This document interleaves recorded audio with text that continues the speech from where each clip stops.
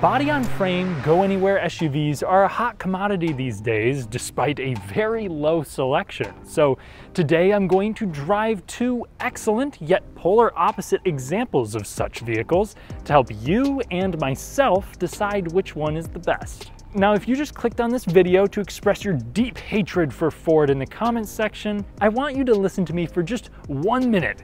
So the, you're already typing, aren't you? Yeah, I, I Okay, jokes aside, even if you are a Toyota stan like myself, it's hard to ignore the effort that Ford put into the latest Bronco. Just like the 4Runner, it's not a cheap SUV, but if you can pull off the miraculous task of finding an entry-level spec at MSRP, the Bronco is going to undercut the much more well-equipped 4Runner SR5. Notably, the Toyota is now easy to find at or below the sticker price, but the Ford has much more flavors. It's like comparing the dizzying menu of Applebee's to Five Guys. You have many different trims that are more bare bones, to street focus, to really off-road focus, to even more off-road focus, to do you seriously need this? Whereas the 4Runner, you have one body style, one powertrain, and enough trims to fit a few different tastes. While the 4Runner next to me is a 2023, this one is actually a personal owner's 2021 Badlands trim with 35-inch tires like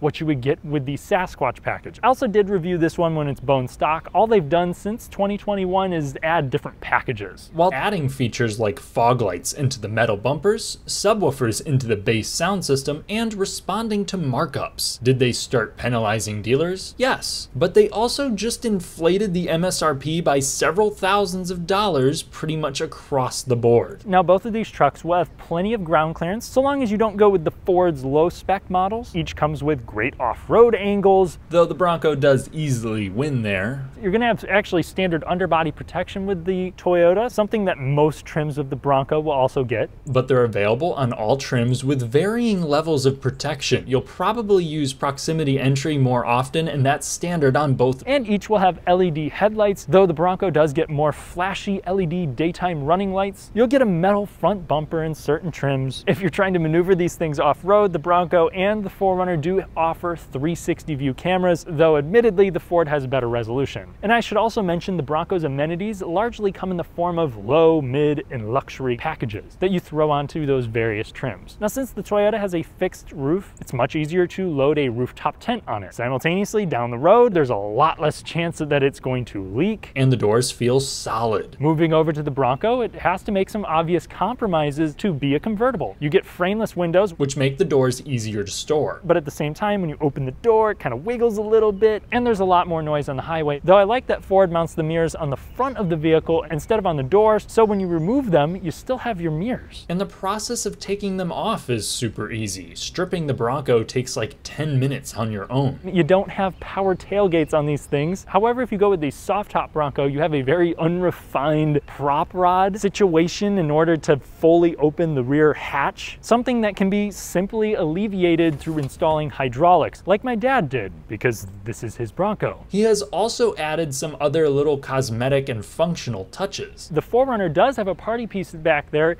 in the name of an electronic sliding glass. Style-wise, I think these are both well executed. The crisp and boxy 4Runner has aged extremely well in my opinion, and the bronze wheels of the 40th anniversary edition make it pop. I don't hate the decals either. The Bronco rocks a modern, retro aesthetic with a nice attention to detail. It makes you feel cooler than you really are. Let me know what you guys think in the comments section. Looking at the cargo areas between these two, the 4Runner also takes a clear win. While this is still very spacious, and even if you go with the two-door, it's not horrible. The 4Runner is just a complete box. While this is more of a diss to the new Sequoia, it actually has more cargo space with the rear seats folded down than Toyota's new full-size SUV. You also can equip it with a third row if your passengers are willing to use it. Plus, this has a 40-20-40 split rear row. That way you can take three other people on your way to Home Depot or the slopes. Since it doesn't need to withstand the elements, the interior of the 4Runner is also just a nicer place to be. While far from luxurious, this thing has a lot of soft touch materials, including where my outboard knee is going to rest. It's nice and plush where my elbows rest. Even though the floor feels kind of high, these seats have great support for me at six foot three, and electronic lumbar adjustment is standard too. While there are a lot of hard touch plastics, they also avoid using glossy finishes where you're actually going to touch them.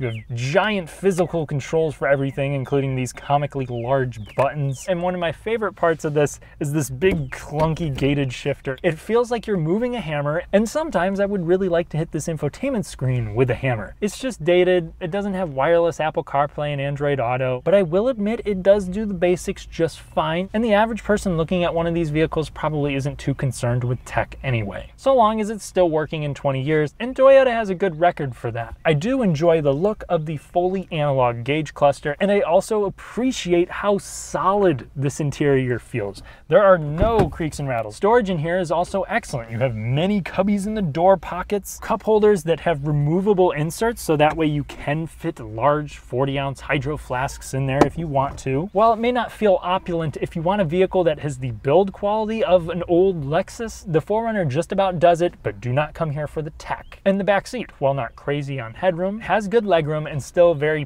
plush seats, so this would be a pretty good road trip vehicle if you needed it to be. The interior of the Bronco is comparatively more spicy and focused, and that comes with some inherent drawbacks. So first off, given that you can remove the doors and the top, this really needs to use materials that can take a beating. So I think Ford chose the right stuff. We do have a lot of hard touch plastic, but there's varying textures, and I like that depending on which trim you go, you'll get some different colored accents. Some specs will even have vinyl floors that you can hose out, and there's little drain plugs too. There's also a bunch of these Bronco bolts so that you can interchange different accessories. I also like these little nets that they put in the doors. It'll fit a 40 ounce hydro flask nicely. And there's even MOLLE panels on the backs of the seats. Storage outside of that is okay. We're also going to see a lot of rubberized materials. And honestly, there's so many different small helpful features that I'm just not going to be able to go over all of them. But in summary, this is more well thought out for specific purposes. The flip side from all of what I just talked about is that it feels cheap. Now where this does get a leg up over the Toyota is in the touch screens. So you'll be able to choose from an 8 inch infotainment or a 12 inch unit like what this has. Both of them have better resolutions, better response times than the Toyotas, and they can get bright. They have wireless Apple CarPlay and Android Auto, and the UI is pretty easy to understand. The gauge cluster is also half digital and less intuitive. Where the Toyota obliterates the Ford is with the sound system. The Bronco does not have a roof crossmember in the center, allowing for a unique open top experience, but that also means the speaker placement is especially weak. Even with the Bang & Olufsen system, the base stereo in the 4Runner is more crisp and punchy despite lacking a real subwoofer. Similar to the Toyota, you have physical controls for just about everything. But the Bronco goes further through adding auxiliary toggles on many packages that come with pre-run wiring around the truck, making it easy-ish to add aftermarket equipment without worrying about adding switches to your interior interior. As far as comfort goes, these seats have very mild bolstering, they're supportive. You can get lumbar adjustment on them and they should fit a wide variety of people with good comfort and the elbow rests are reasonably soft. I also have plenty of knee room. Moving into the back seat, it's a little bit more cramped, but still accommodable for taller people. And the middle seat is also usable. You can get various charging ports back there too, but no rear console vents like the Yoda. On the road, the Toyota 4Runner is old school in a charming way. Under the hood, we'll find Toyota's 2GR 4-liter V6 that has been in service for quite some time. It makes 270 horsepower, 278 pound-feet of torque.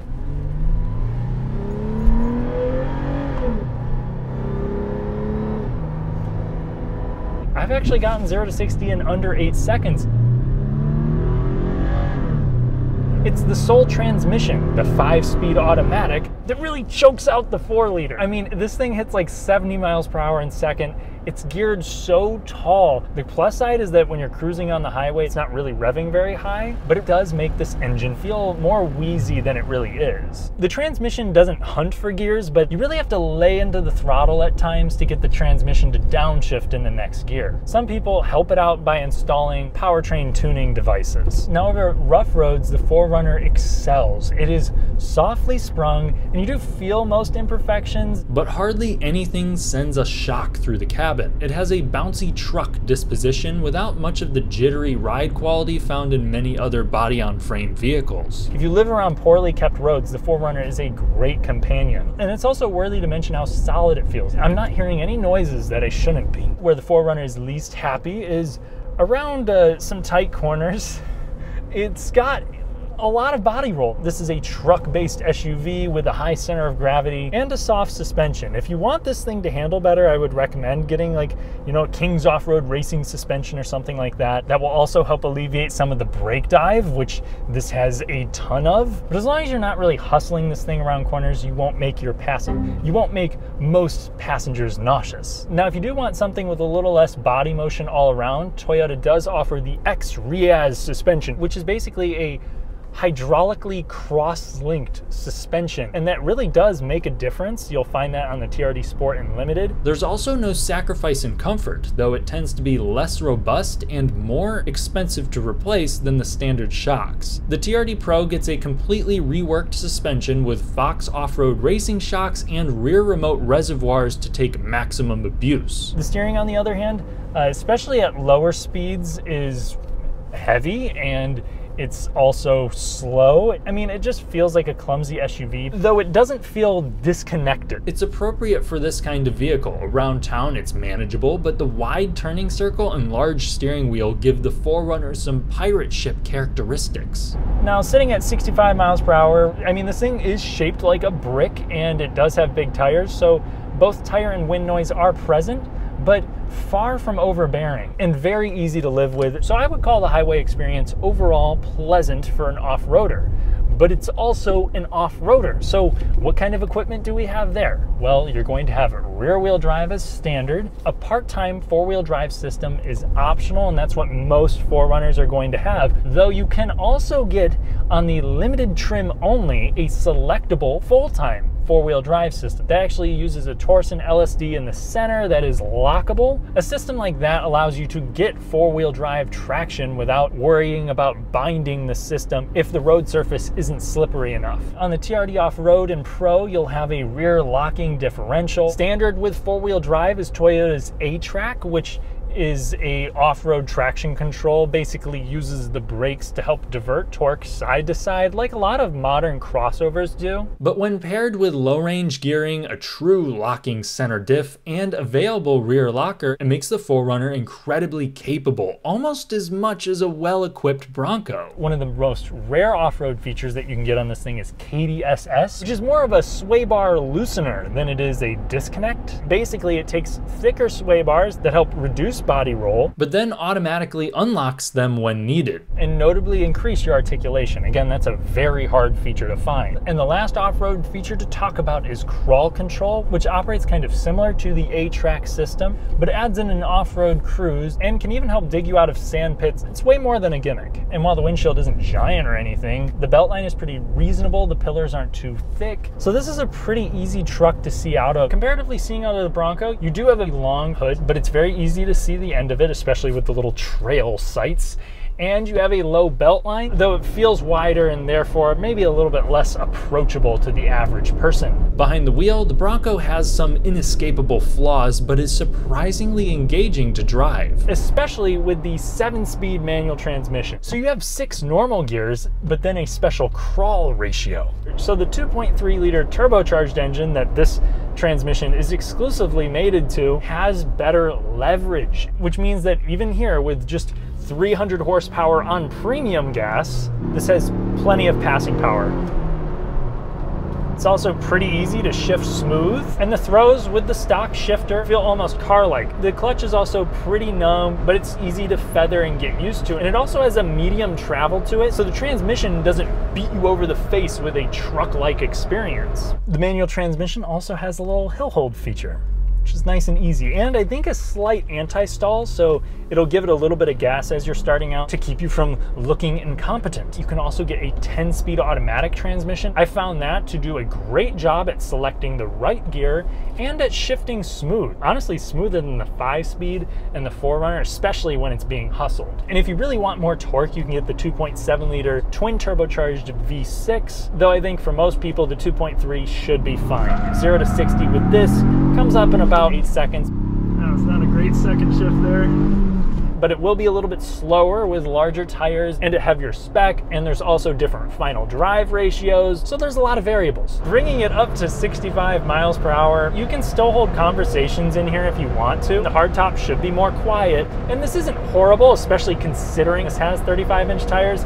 but it's not great either. Wind and tire noise are prevalent, making it a bearable but much more noisy highway companion. Getting it onto a bad road, it definitely feels truck-like and firmer than the 4Runner, and I think it's uh, maybe a little bit more controlled and less bouncy, though that comes at the cost of maybe a 10% difference in comfort. If I'm to add numbers to my glute sensors here, but honestly, either one of these you should be happy around a bad road, though the Bronco, there's just more going on. You hear the top kind of jittering in certain places. It's just a much less refined experience. It's also worth noting that this has independent front suspension just like the Bronco, which also helps give it more car-like steering when compared to something like the Wrangler. Now, one of the biggest surprises with the Bronco is how well it handles. Even with these larger tires, this has quicker, more accurate, less ponderous steering than the 4Runner. It's still numb and it doesn't feel any more connected than the Toyota, but it's very easy to change direction and the more rugged Bilstein suspension system that this thing has still allows this to have pretty controlled body motion. And the steering also is much lighter at low speeds. It also has a tighter turning circle too. It's really just an easier vehicle to maneuver. Keep in mind, this is all relative to body-on-frame SUVs. If you're looking for off-road features, you came to the right place as the Bronco comes with more of them. It comes with four-wheel wheel drive is standard. It has some off-road modes to help maximize traction. A rear locker is available. If you get the Sasquatch package, that's just gonna be a blanket of rugged amenities. So you'll have the larger tires. An upgraded suspension with Bilstein position sensitive dampeners, automatic four-wheel drive, which can be used on a wider variety of surfaces than regular 4-high, The front and rear locking differentials. Some of those things will come in other trims like the Badlands, which has the front and rear lockers, but the Badlands also gets a front sway bar disconnect, which you can activate on the fly. It's very cool and helpful. You can actually get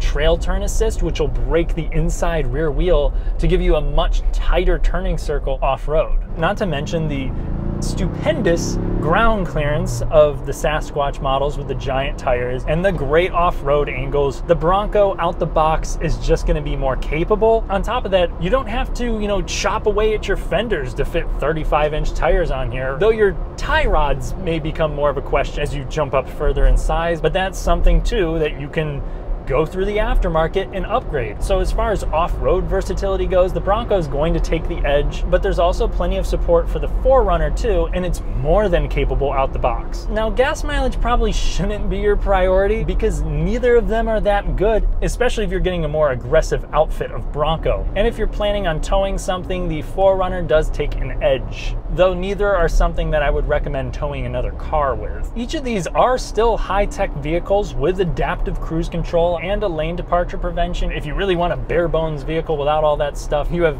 very limited options these days, but neither of these will come with lane centering. And the 4Runner will have you opt into blind spot monitoring.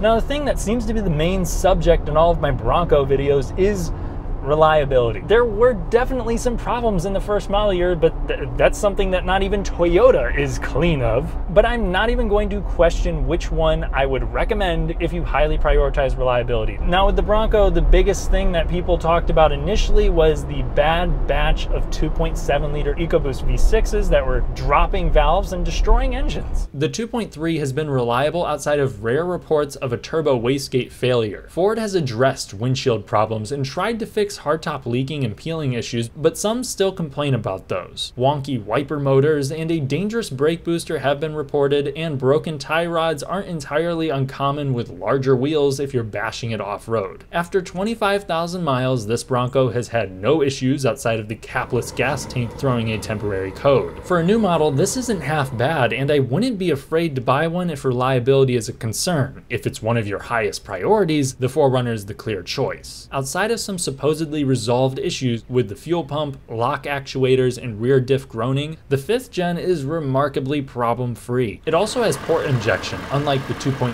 EcoBoost which only has direct, so there's a little less maintenance too, as the intake valves will be continuously cleaned with the Toyota. Frame rust with the 4Runner isn't like it used to be. With either, I'd highly recommend coating with fluid film at least once a year before winter. Now here's a plot twist, my dad's Bronco here actually replaced a 2019 Toyota 4Runner. Now I did ask my father why he jumped from the 4Runner to the Bronco, and his answer was pretty simple. He wanted a new vehicle with a manual transmission. It's something that you're probably not going to be able to buy here soon. And the 5 speed in the 4Runner was again lackluster, but he was also smitten with the idea of being able to remove the doors and the tops, which he does very regularly. They're off most of the time in the summer. And he was in love with how it looked. And while he does say he misses the refinement of the 4Runner and the slidey glass, if given the chance to go back and change things, he would still buy the Bronco. And he's had a great time with it. And yes, he's had it well past the honeymoon period. But honestly, making the decision for myself, which one I would rather have